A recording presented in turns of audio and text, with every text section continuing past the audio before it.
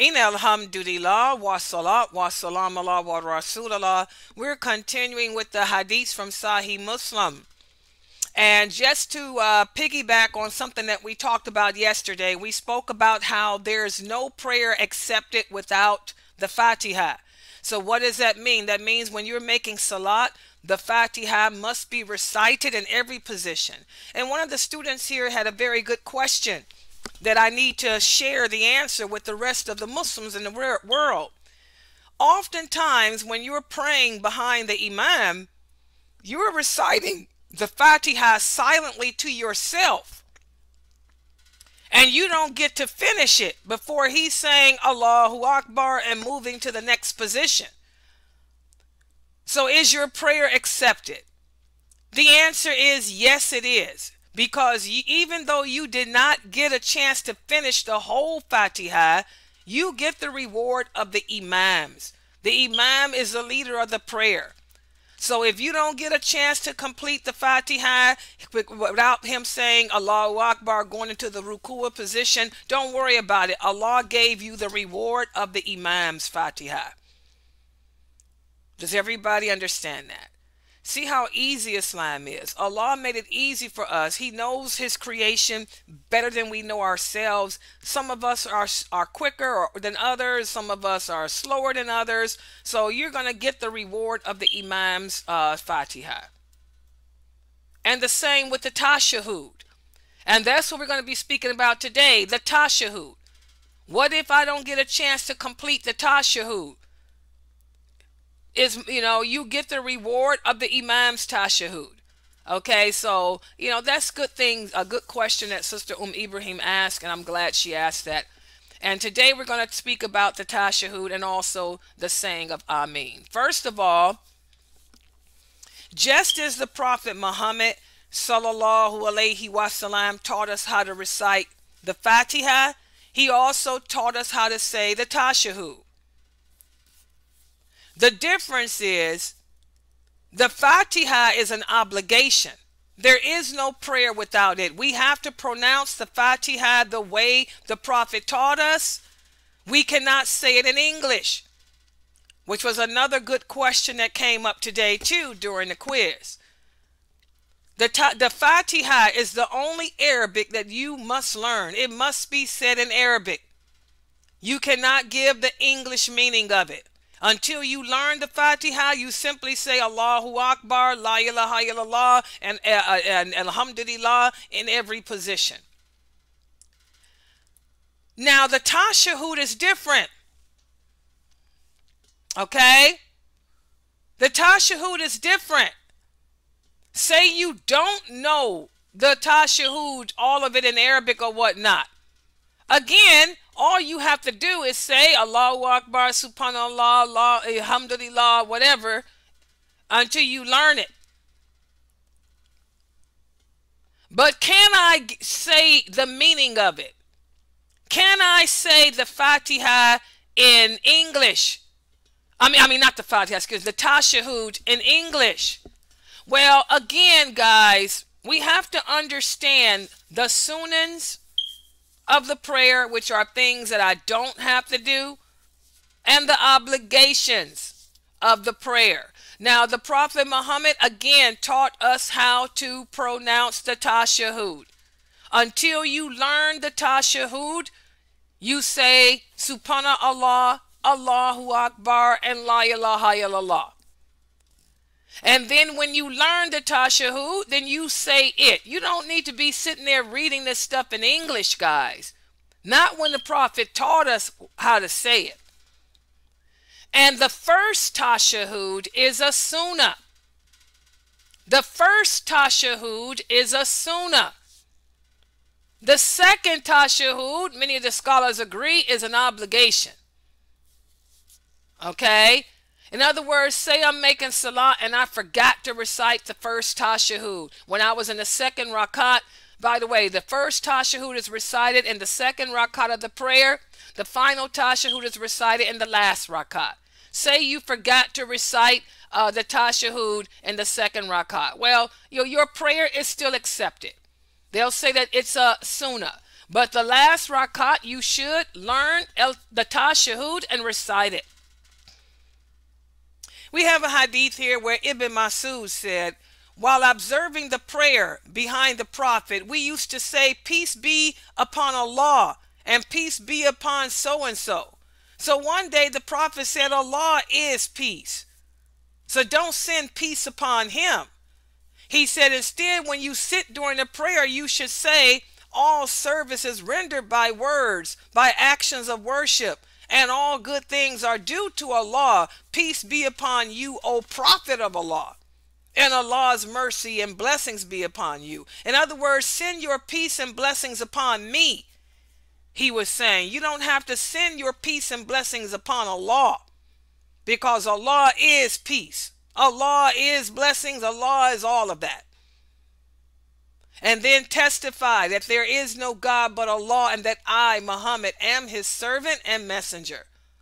And then you can make any other supplication you want after that. In other words, if you want to ask Allah to make you rich, to give you children, you know, make it make your job go easy or whatever, do that afterwards.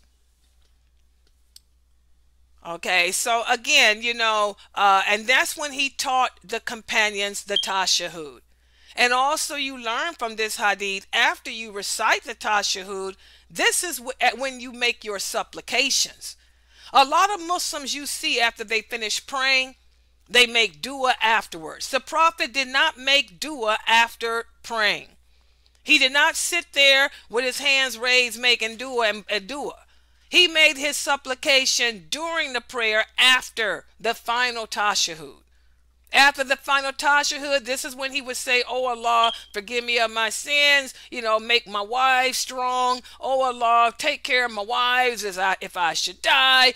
Oh Allah, you know, protect me from the evils of Shaitan, uh, the Quraysh, whatever. Whatever supplication you want to make, you make it before you give salams out of the prayer not after. Does everybody understand? And that's based on this hadith. The prophet said, You may choose any supplication that pleases you after the tashahud.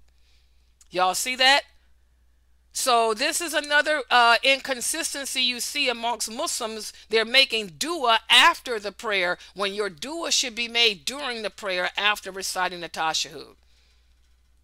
Ibn Abbas said the Prophet used to teach us the Tashahud just like he taught us the Fatiha. See, there you go. So learn the Tashahud. Learn the Tashahud in the Arabic, guys. Learn it in the Arabic. Until you learn it, say Subhanallah, Alhamdulillah, La ilaha illallah. He said the Prophet used to teach us the Tashahud just as he taught us the, the Fatiha. And you know, there's the meaning of the tashahu. What are you saying when you give the ta? This is what you're saying in, in English. And by the way, guys, uh, on my website, sunnahfollowers.net, there's a link that says new to Islam. If you guys click on that link on the sunnahfollowers.net uh, main page, it will take you to how to pronounce the tashahud there's a recording telling you how to say it, how to pronounce it correctly. Please visit the New to Islam page on sunnahfollowers.net. You will see the Fatiha, the Tashahud. We even have Ayat Kursi. We have uh, uh, uh, the Falak, the Nas. Simple prayers there, how to pronounce them with a recording that you can uh, recite after and everything else. Go there to learn the tashahud. Until you learn it, just simply say Subhanallah, Alhamdulillah, La ilaha illallah, Allahu Akbar in that verse. I mean, in that position. Okay? So that's the tashahud. And I want you to know the first tashahud is a sunnah action. So that means if you're making salat and forget to do the tashahud in that second rakat, don't worry about it. Your prayer is still valid. And then the prophet taught us um, in that final rakat.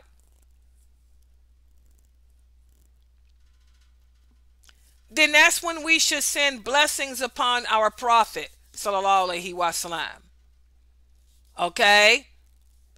Um, look at the hadith here. We were sitting with one of the companions when the prophet came, And the companion said, O prophet of Allah, Allah has commanded for us to send blessings upon you, but how do we do that? And then uh, the prophet said, You simply say, Allah, bless Muhammad and the members of his family as you did the members of Ibrahim's family. Give favors to Muhammad and his members as you did to Ibrahim. And you know, again, if you go to my website, sunnahfollowers.net, click on that link that says new to Islam, you will have that right there. We call it the Dua Sharif or whatever in Arabic, speak the different names of it how to say it, subhanallah, you know, how to, you know, uh, uh, how to recite that after the uh, after the tashahud and all of that. Okay? In Arabic. All right. Again, until you learn this stuff, you know, subhanallah, alhamdulillah, Allahu Akbar, or whatever. And again, this is a sunnah. This is a sunnah. These blessings that are sent after the second or last tashahud is a sunnah. That means if you don't say them or if you don't do it, your prayer is still accepted. But again, the things the prophet told us to do, you should try your best to do them. That's the perfect prayer. So we do the sunnah actions because this makes the perfect prayer. And finally, for today, I want to just briefly speak about saying Amin after the Fatiha. The Prophet sallallahu alaihi wasallam said, when the Imam is leading you in prayer, and when he recites the Fatiha, when he recites that last verse, then you should say Ameen. And if your Ameen is said at the same time that the angels say it, your past sins will be forgiven. Your past sins will be forgiven.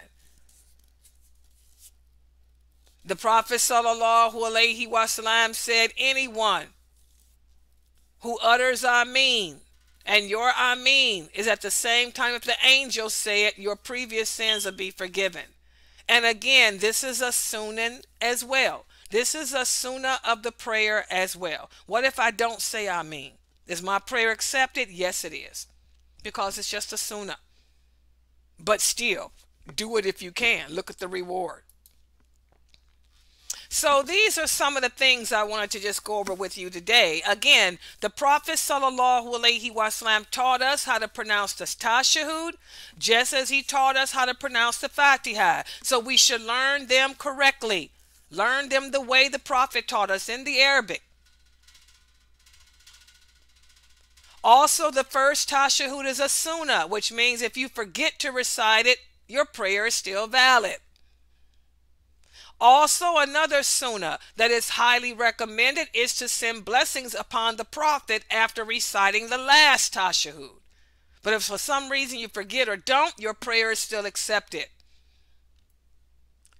And also the saying of Amin after the Fatiha.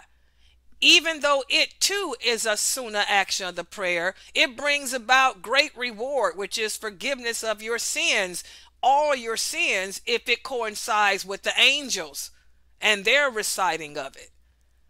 And also, women too can say Amin out loud softly. So if you're praying at the mosque, the Imam gets to that part, uh, Gairil Makhdubi alayhim waledolin. If you say, you the women can say Amin too, but say it softly.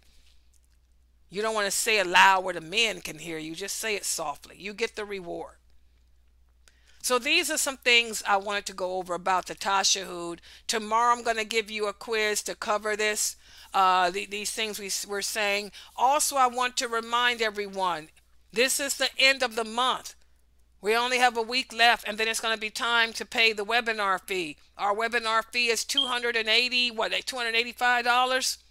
Please, guys, send in your donations to cover our webinar fee and other fees that we have here so you can continue to log in here and learn uh, Islam and its truthfulness based on the Quran and the authentic hadith and their meanings. So we'll stop right here. If you guys have any questions or comments, you can go ahead and type them on the screen. Subhanakallahumma wa bihamdika ashhadu an la ilaha illa anta astaghfiruka wa atubu ilaik.